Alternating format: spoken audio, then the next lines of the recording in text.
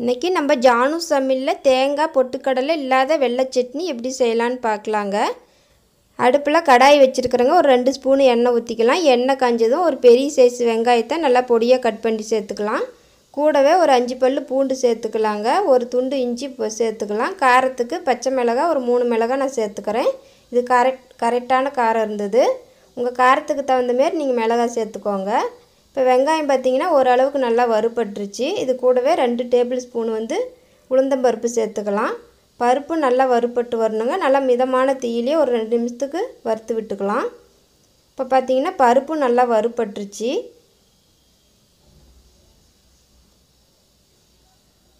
புளி வந்து சின்ன சைஸ் நெல்லிக்காய் சைஸ் சேர்த்துக்கலாங்க.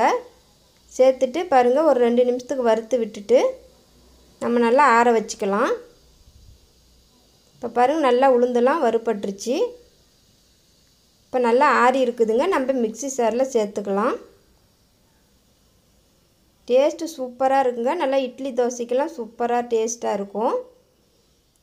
இப்போ சட்னிக்கு தேவையான அளவு கல் உப்பு சேர்த்துட்டு தண்ணி விட்டு நல்லா நைஸாக அரைச்சி எடுத்துக்கலாங்க. நம்மக்கிட்ட தேங்காய் பொட்டுக்கடலை இல்லாத நேரத்தில் சட்டுன்னு ஒரு அஞ்சே நிமிஷத்துக்குள்ளே இந்த சட்னி செஞ்சிடலாம். சுவையும் நல்லா இருக்குங்க. டேஸ்ட்டு சூப்பராக இருக்கும். இப்போ வந்து சட்னி வந்து நம்ம ஒரு பவுலுக்கு மாற்றிக்கலாம் நல்லா நைஸாக அரைச்சிட்டு. இப்போ தேவையான அளவு மிக்ஸி அழைச்சி தண்ணி ஊற்றிக்கலாங்க தண்ணி ஊற்றிட்டு நல்லா கலந்து விட்டுட்டு நம்ம தாளித்து ஊற்றிக்கலாம் எண்ணெய் கடுகு உளுத்தம்பருப்பு கருவேப்பிலை சேர்த்துட்டு தாளித்து ஊற்றிக்கலாம் டேஸ்ட்டு ரொம்பவே சூப்பராக இருக்கும்.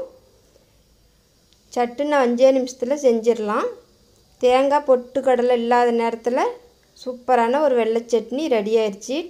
இதே போலவே நீங்களும் செஞ்சு பார்த்துட்டு எப்படி இருந்துச்சுன்னு சொல்லுங்கள் என்னோடய வீடியோ பிடிச்சிருந்தா சப்ஸ்கிரைப் பண்ணுங்கள் பக்கத்தில் இருக்கிற பெல் பட்டன் அழுத்தி வச்சுக்கோங்க. அப்போ தான் நான் போடுற வீடியோ உங்களுக்கு உடனுக்குடனே